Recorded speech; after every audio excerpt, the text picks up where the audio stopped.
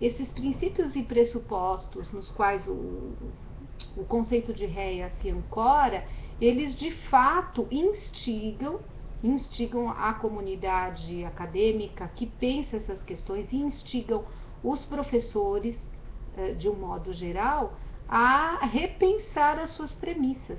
E a resistência, eh, quando eu penso sobre a formação eh, informal, que é exatamente aquela que, que pretende interligar a, a, o, o convergir, são as experiências práticas e contextuais e as redes informais, as comunidades, é um ponto de partida, mas eu vejo assim que o desafio é muito maior né? uma, é uma falta de preparo, falta de concepção, uma resistência, que são as grandes barreiras. Tentamos introduzir na escola uh, uh, os recursos educacionais abertos, por vezes realmente somos olhados um bocadinho de lado por outros colegas um bocadinho mais antiquados que veem estes recursos como algo que não está muito bem, que não é muito bem ligado à educação, porque a educação é outra coisa que não é as tecnologias.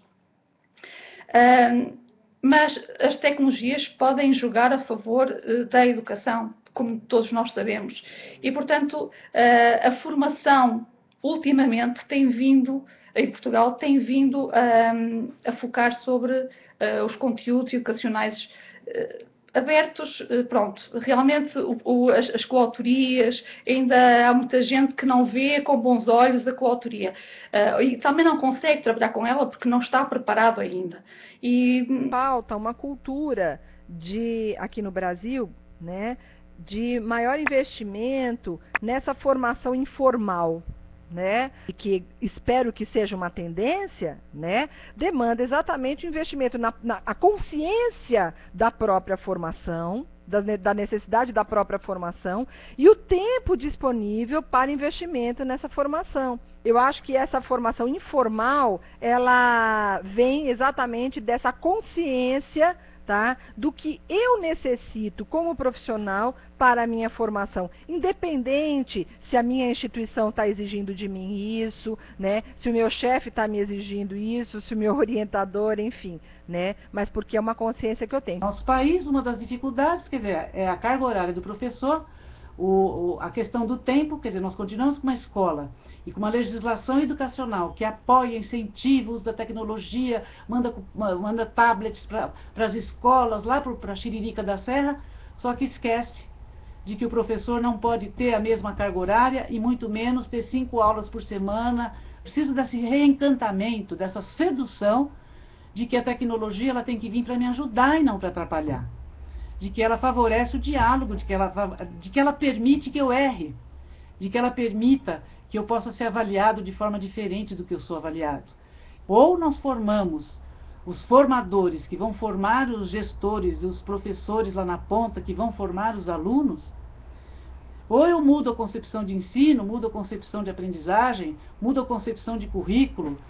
É, é interessante nós pensarmos que para nós integrarmos essas tecnologias, os recursos tecnológicos, um, uma estratégia didática, pedagógica e esses conteúdos, um dos primeiros pontos para pensar nessa integração e, e, um dos caminhos é conhecer esse contexto, né? Quais são, quem são esses alunos, quais são as suas vivências, eu, eles conhecem o conteúdo da tecnologia para pensar nessa integração desenvolveu uma pesquisa com alunos, mais de 100 alunos de cursos de licenciatura, para tentar verificar como é que eles enxergavam a Web 2.0 a partir do ponto de vista do seu potencial pedagógico, né? Do lado dos alunos, que eles reconheciam a importância dela, eles reconheciam que ela era um instrumento bem interessante, mas eles tinham uma dificuldade muito grande de enxergar essa Web 2.0 pelo seu potencial pedagógico. Se pensarmos o modelo de aula os adventos tecnológicos e as possibilidades dos REA, não esquecendo das dificuldades, como a inclusão digital e a capacitação dos professores à distância, do ponto de vista tecnológico, com pouca prática, com pouca inserção no contexto que eles estão vivendo, com muitas dificuldades, dificuldade de conexão das escolas, que as redes, que os equipamentos funcionem. Que o REA, na verdade, a gente fez a discussão aqui nos usos né, e espaços-tempos do digital em rede, mas é uma concepção que o professor tem que trazer consigo na sua prática pedagógica, ou seja, a ideia de compartilhar da multireferencialidade é que quando a gente pensa na questão do interdisciplinar, do multi, do transdisciplinar, a gente continua tendo a ciência como referência. E para a multireferencialidade, a ciência é mais uma referência e não a referência. Que os saberes, eles produzidos pela própria vida, são legitimados. A gente elegeu um presidente que se formou pela vida política, pelos espaços multireferenciais, sem ter diploma. Por mais que as empresas busquem a universidade muitas vezes para certificar, os espaços legítimos de formação acabam sendo no próprio espaço é, da empresa e assim tem acontecido também com os movimentos sociais. Mas eu queria só comentar esses novos autores da filosofia contemporânea.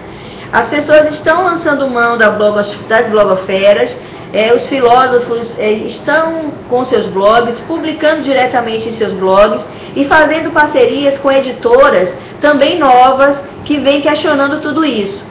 Eu penso que o desafio para a gente vivenciar mais esse tipo de coisa é que realmente os projetos é, sejam efetivamente mais colaborativos e em rede. E que a questão da interculturalidade possa realmente acontecer. Eu vejo esse, esse momento nosso de discussão como um processo nosso de formação quando a professora Edmeia apresenta os alunos né, que estão lá na universidade. Isso é um processo muito rico para esses alunos poder participar de um movimento como esse. Né? E nós deveríamos cada vez mais reorganizar nossas práticas educacionais, questionando, problematizando e assim discutindo, criticando e socializando essas experiências de ensino e aprendizagem mediada aí por essas tecnologias.